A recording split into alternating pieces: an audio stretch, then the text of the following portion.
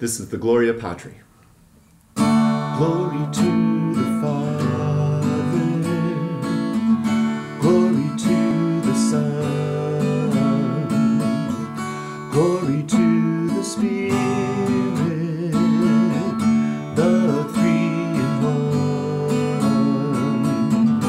As it was in the beginning, is now and ever